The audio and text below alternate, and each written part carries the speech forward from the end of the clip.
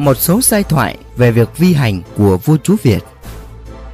Xưa, các đấng quân vương ngoài việc thiết triều, bàn nghị việc nước, điều khiển việc quốc gia đại sự Nhiều vị bởi muốn hiểu nhân tình thế thái thế nào nên vi hành vào chốn nhân gian.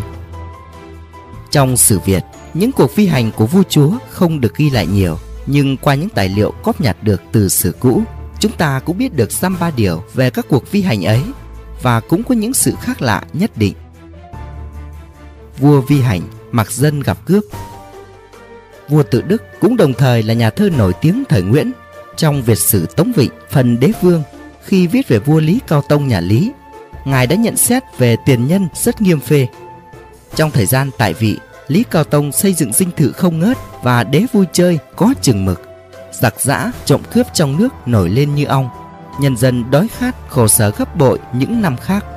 Cơ nghiệp nhà lý bắt đầu suy đốn từ đây lại có thơ rằng, cưỡng bão bi tấn dĩ tự do, cố tương dân mịch phụng bản du, chiêm thành khúc lý đa ai oán, quy hóa sang đầu thủy bất lưu. Tạm dịch, khăn tã tự do thỏa ý trời, hại dân chẳng kẻ kẻ rong chơi. Chiêm thành khúc hát lời ai oán, quy hóa đầu sông, nước chẳng trôi.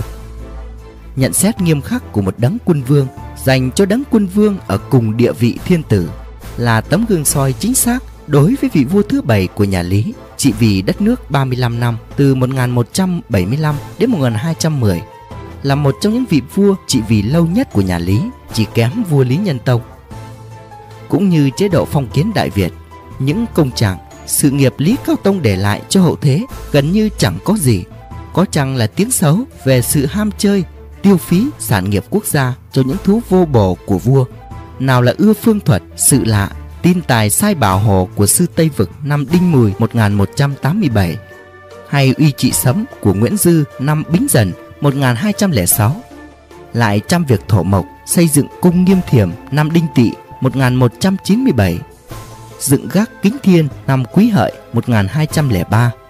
Đặc biệt, vua rất ưa vi hành, nhưng không phải là quan tâm muôn dân trăm họ mà để thỏa chí tò mò sự ham vui chơi của bản thân như lời Đại Việt Sử Ký Toàn Thư thuật lại.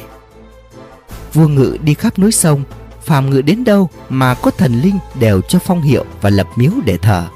Vua xây dựng không ngớt, ngao du không chừng mực. Cũng vì cái sự ngao du ấy, có lần vua gặp cảnh bất bình chẳng tha trích lời Lục Vân Tiên trong truyện thơ nôm cùng tên của nhà thơ Nguyễn Đình Chiểu. Nhưng đấng kim thượng lại nhắm mắt làm ngơ. Ấy là vào năm Bính Dần 1206, niên hiệu trị Bình Long ứng năm thứ hai theo ghi chép của Đại Việt Sử Lược. Việc xảy ra ngay tại Kinh Thành khi vua 37 tuổi ta.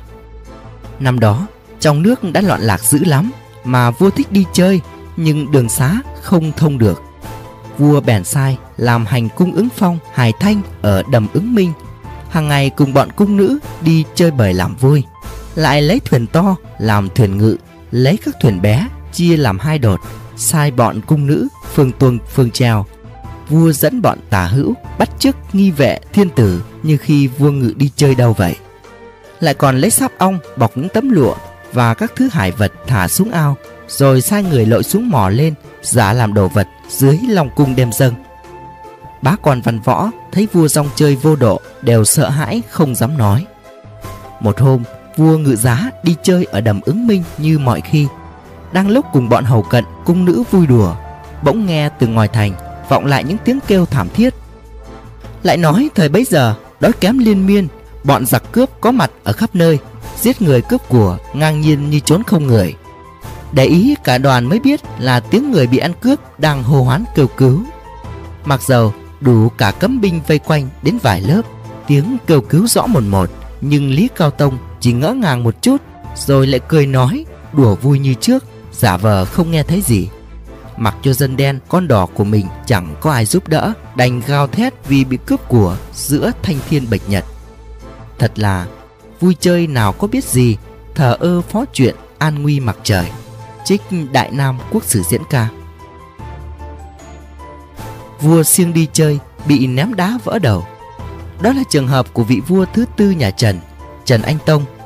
Vua Vi Hành bị bọn vô lại ném đá. Nhưng đó là quãng thời gian khi vua mới lên ngôi còn ham chơi bời Xét cả thời trị vì 21 năm của vị vua đặt duy nhất niên hiệu Hưng Long này Phan Huy Chú trong lịch triều hiến chương loại trí phần nhân vật đã ca ngợi công đức của vua là Vua khéo nối nghiệp trước, thương dân, lập chính đời được yên vui, chính trị tốt đẹp, chế độ rực rỡ, đáng khen. Hay thời Nguyễn, Thái Hà Diên Mậu Hoàng Cao Khải khi viết Việt sử yếu cũng nhận xét thời vua Trần Anh Tông, nhân tài xuất hiện ngày càng nhiều, đại học chấn hưng ngày càng thịnh, triều vua Trần Anh Tông thật là triều thịnh trị nhất về đời nhà Trần. Quản nước tốt đẹp là thế, nhưng không phải lúc nào vua Trần Anh Tông cũng nghiêm cấm sửa mình như lời dặn của Thượng Hoàng Trần Nhân Tông. Thủ thành nối nghiệp gian nan, hễ là tiểu sắc lòng toan đã chừa Trích Việt sử diễn âm Khi vua mới lên ngôi, tuổi độ thanh niên mới lớn nên tính bồng bột, ham chơi bời, lại có Thái Thượng Hoàng Trần Nhân Tông bên mình trị nước, do đó mà chính sự có phần lơ là. Có lần vì ham uống rượu xương bồ mà suýt bị Thượng Hoàng chuốt ngôi thiên tử bởi giận. May sao có vân nhân, đoàn nhữ hài hay thơ làm biểu tạ lỗi mới được vua cha bỏ qua cho lỗi ấy. Ngoài việc thích uống rượu, do tuổi trẻ thích tìm hiểu nên anh Tông thỉnh thoảng cũng hay cùng bọn quân hầu vi hành ra ngoài nhân gian thăm thú dân tỉnh, vui chơi thỏa sức. Khổ nỗi, đi đêm lắm có ngày gặp ma, sự thế ấy được Việt sử cương mục tiết yếu cho hay. Tính vua thích phi hành, ban đêm thường cải trang làm công tử con quan, lên kiệu cùng hơn chục tên hầu cận song ruổi khắp kinh thành Thăng Long. Nào ngắm tử quán đông vui, nào xem người qua lại nhộn nhịp, lại mắt liếc tay đưa những bóng hồng lướt qua. Cứ thế cả đoàn đi đến khi gà gáy mới về lại cung cấm. ấy rồi có đêm khi đến một phường nọ trong kinh thành, bọn thanh niên hư đốn tính hay ghen ghét tưởng kiệu anh Tông là công tử con quan nhà ai diễu phố nên thấy ngứa mắt mới hùa với nhau cầm gạch ném vào kiệu Bọn người đi theo hầu hoảng hốt lắm Chẳng cần giấu bí mật vua vi hành nữa Mới thét lên cho bọn kia nghe thấy Kiệu của vua đấy Nghe đến thiên tử, Bọn thanh niên vô lại, Cả đám chạy tan sợ bị tội. Đến khi xem lại, Thì đầu vua đã bị trúng mảnh gạch ném vào, Chảy cả máu, Cả chục ngày vết thương mới liền sẹo. Sau Thượng Hoàng Trần Nhân Tông thấy vết sẹo ấy, Mới hỏi nguyên do Vì sao lại bị thế. Vua Trần Anh Tông cứ thực thà mà tâu lại. Thượng Hoàng Nhân Tông bực mình lắm, Lắc đầu, tặc lưỡi mãi mới thôi. Kể ra chuyến vi hành ấy May mà mới bị ném đá, Nếu có ẩu đả nữa không biết mệnh vua có được bảo toàn. Cũng sau lần bị nạn vi hành, Vua Anh Tông ngày càng trở nên thận trọng, Nghiêm cẩn hơn trong vui chơi, Trị nước, giúp dân cường, Nước thịnh, Triều đại thêm thịnh đạt, Được Việt sử diễn âm hết lời thi tán. Khiêm sung, hữu hữu, bản sinh chi, Cài quá trung hình, tuyệt ẩm thì. Nghiệp kế thủ văn xưng thịnh chúa, nội tu lễ nhạc ngoại thương di. Nghĩa là hiếu hữu khiêm toàn đức bẩm sinh diệu chừa lỗi sửa bỏ phồn hình. Trọng văn kế nghiệp đời khen thịnh lễ nhạc tôn sùng bốn bể thanh. Vua hiền gặp trộm giỏi. Thời lê sơ vua lê thánh tông được biết đến là một ông vua cai trị sáng suốt tạo nên đỉnh cao thịnh trị cho bản thân và triều đại. Nói đến vua, đức trị cũng giỏi, pháp trị cũng hay, thế nên trong việc xử yếu mới nhận xét rằng bàn về nền quân chủ ở Việt Nam ta được xưng tụng về văn trị và võ công cực thịnh, không lúc nào bằng triều đại Hồng Đức, Lê Thánh Tông. Để yên nghiệp nước, vua không chỉ chăm lo việc giáo hóa, nông tang mà còn chú trọng tới luật pháp để xã hội đi vào quy củ. Quốc triều hình luật ra đời từ lý do đó một trong những trọng tội vua Lê Thánh Tông muốn bài trừ ở mọi góc độ là nạn tham ô, nhũng lạm, nhất là đối với quan lại. Giai thoại dưới đây đề cập tới vấn đề xử tệ nhũng lạm có liên quan tới chuyến vi hành của vị vua sáng. Thời vua Lê Thánh Tông trị vì, ở Thăng Long có một tay đạo trích rất giỏi nghề, nhưng khác với những kẻ trông chìa thường thấy khác, hắn hay trộm của nhà giàu chia cho dân nghèo mà chỉ lấy của những kẻ giàu có bất chính Do thoát ẩn, thoát hiện, ra tay nhanh như chớp nên nhiều người gọi hắn là quận gió.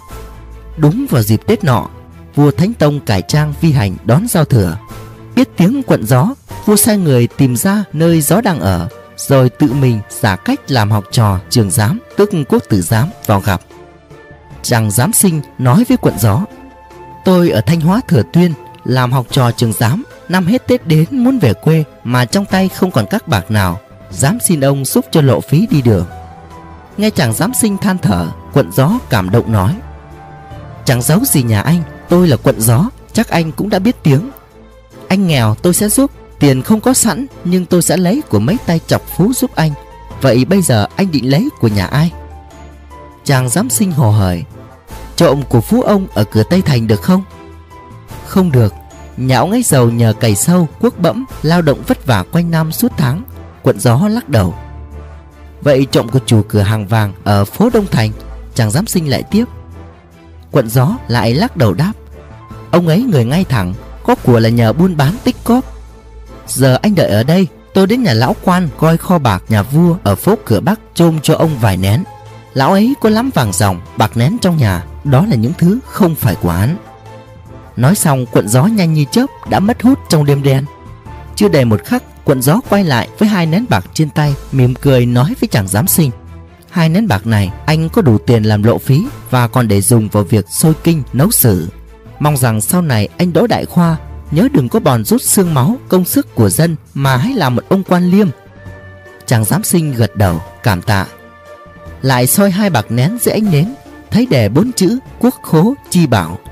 Không nghi ngờ gì nữa, Đây là bạc trong kho của nhà nước. Sáng mùng một Tết, Chàng giám sinh ấy đã ngự trên ngai vàng. Dưới sân điện, Các quan tung hô chúc Tết. Khi ấy, vua Thánh Tông mới kể về chuyến vi hành đêm giao thừa lại cho mọi người truyền tay nhau hai nén bạc, quốc khố chi bảo. Viên quan coi kho, mặt cắt không còn giọt máu, bị lột bỏ hết mọi tước vị, gia sản bị tịch thu, thân bị lưu đày vì tội nhúng lạm quốc khố nhà nước. Còn quận gió sau đó, được vua cho mời vào cung, ban hiệu là quân tử đạo trích và ban thưởng rất hậu. Giai thoại vi hành trên của vua nhiều phần mang tính hoang đường, nhưng việc xử nghiêm tệ tham nhũng thì sử sách còn ghi lại nhiều lắm. Theo kiến thức, video được thực hiện bởi kênh Bí ẩn Sử Việt qua giọng đọc Nho Hương. Quý vị nhớ đăng ký kênh và ấn vào biểu tượng quả chuông để nhận được những video kế tiếp. Xin thân ái mến chào và hẹn gặp lại quý vị.